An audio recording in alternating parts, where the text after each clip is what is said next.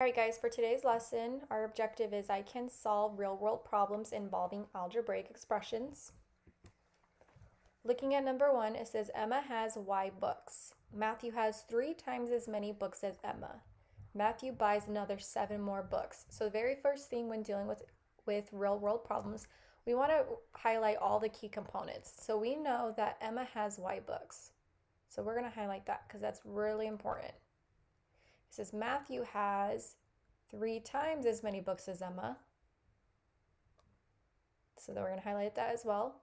And then it says Matthew buys seven more books. So those are all of our key components. Looking at part A, it says how many more books does Matthew have than Emma? Give your answer in terms of Y in the simplest form. So we are going to create just a box diagram to help us solve this. So if we know Emma has Y books, we're just going to represent this box as Y. Well, we know that Matthew has three times however many books Emma has. So we're going to split that into three. So however many books Emma has. And then he bought an additional seven more. So all key components for, so we know that they bought, that Emma bought one or bought Y books and Matthew bought an addition times, three times however many books that she bought, plus an additional seven. So looking at this information, we can write an equation, an algebraic expression. So we know that Emma at least bought one book right here. So we are going to write this we're trying to find out how much Matthew has than Emma. So this is all the mystery right here that we are trying to solve.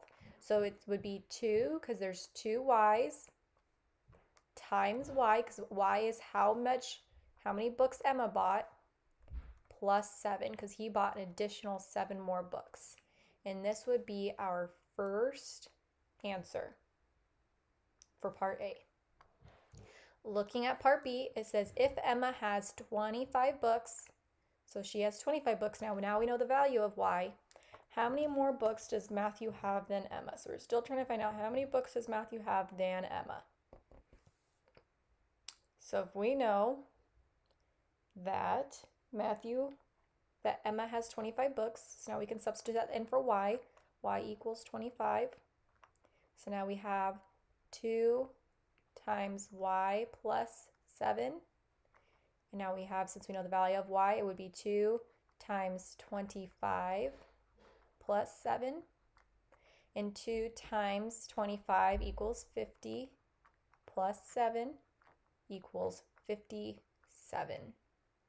So Matthew had 57 more books than Emma because she had 25 books.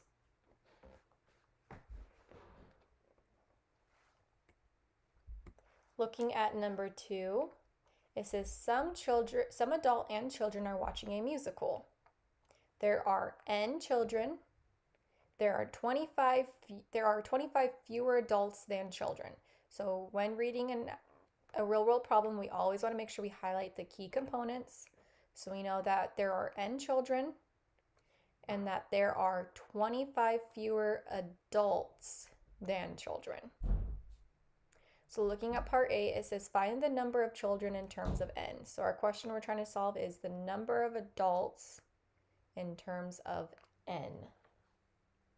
So we would write this. So we know that n represents children. So we're going to write n equals children.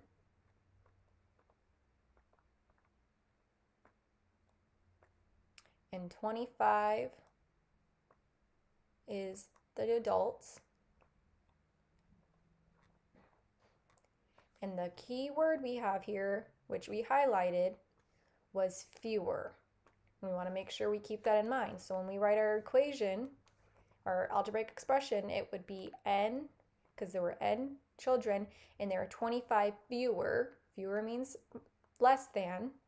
So 25 less adults than there were children. And that would be our answer for number for part A. And now it says in part B, if there are 124 children, how many adults are there? So now we know what the value of n is. So all we're going to do is we're going to do n equals 124. Our original expression, algebraic expression, was n minus 25. And now we know the value of n, so we're going to substitute that in. So 124 minus 25. And now all we have to do is subtract. So 124 minus 25 equals 99. And that would be our final answer for part B.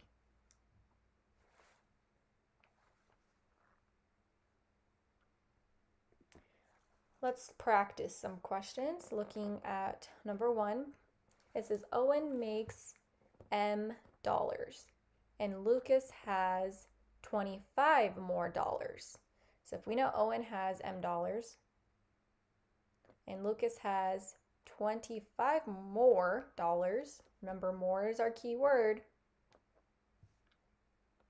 It says find the total amount of money in terms of M. Find the total amount of money in terms of M. So we know that there are two boys.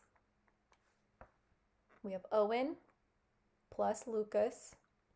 So that's two boys. We know Owen makes M dollars. And however much Owen makes, Lucas makes 25 more.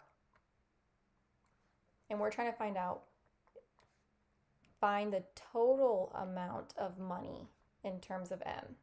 So we're not finding Lucas, we're not finding Owen, we want to find the total amount of money. So now that we know this information right over here that we written out, we just got to write an algebraic expression. So we know that there are two boys and they both make M dollars. And whatever, because M equals what Owen made, and whatever Owen made, Lucas made additional 25 more.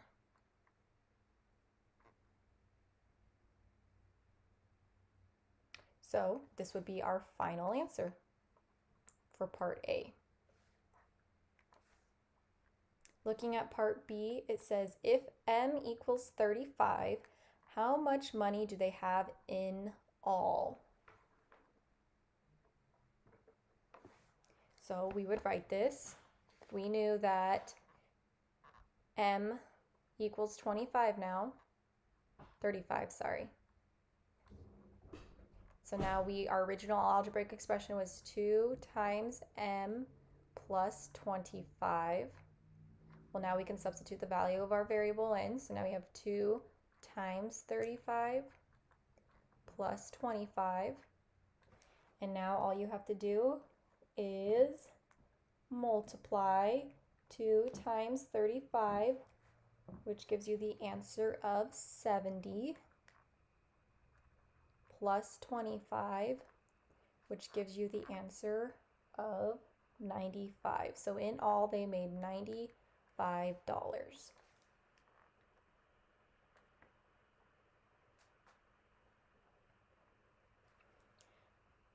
Lastly, we are going to look at number two, practice.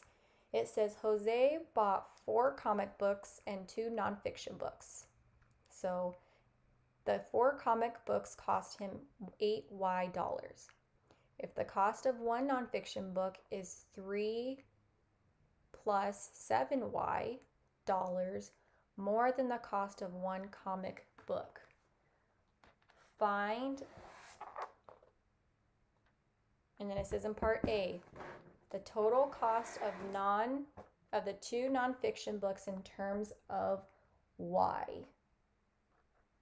So looking at the first half of the question, we are going to highlight all of the important components. So we know Jose bought four comic books and two nonfiction books. That's very important to keep in mind. And then it says that the four comic books cost him 8y dollars. So we know that all four of his comic books cost him 8y dollars. And it says if the cost of one nonfiction book is 7 plus 3 plus 7y dollars more than the cost of one comic book. So now that we know that, this is the co- the cost of the two nonfiction books in uh, in terms of y. So we want to know the cost of two nonfiction books in terms of y. Well, if we know that the cost of one nonfiction book is 3 plus 7y, this is for one nonfiction book, and we want to know the cost of two nonfiction books. So we are going to learn what we worked on last week, and we're going to use the expanding method. So we are going to do 2 parentheses 3 plus 7y, and the 2 came from because we're trying to solve how much it is for two nonfiction books. So now that we know this information, we would multiply 2 times 3 and 2 times 7y, which would give us the answer of 6 plus 14y. And that would be our final answer for part A, because they want to know it in terms of y. Lastly, looking at part B, it says the total amount that Jose spent in books if y equals 4. Well, now we know the value of 4 of y is 4, so this is important to keep. And if we knew that his four comic books, comic books, we're going to write C equaled 4y, because remember said that all four comics books cost him 8y. And we now know that the cost of his two nonfiction books, so we're going to do two nonfiction books, we solved over here was 6 plus 14y. We're going to split this up into two different problems. So we're going to first insert 8y and we're going to substitute 4 in. So 8 times 4 and we're going to do the same thing. We're going to substitute y, our variable, our value in for our variable for 6 plus 14y. So for the first 8 plus 8 times 4 gives us the answer of 32. And it's positive. So we're going to continue adding and because this one's also positive. And then if we insert 6 plus 14 times 4, remember our value of our variable is 4. Now we just have to do 14 times 4 equals 56. And now we have 6 plus 56. Now we just have to add 6 plus 56 gives us the answer of 62. And now we just have to add 32 and 62 together, which gives us the answer of 94. So he spent $94 on his comic books. So remember, when dealing with real world problems, it's always important to find the key components of all of the questions.